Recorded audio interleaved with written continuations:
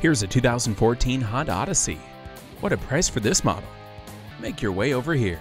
Don't miss out on purchasing this outstanding Odyssey. When you say quality, Honda comes immediately to mind, and this Odyssey is no exception.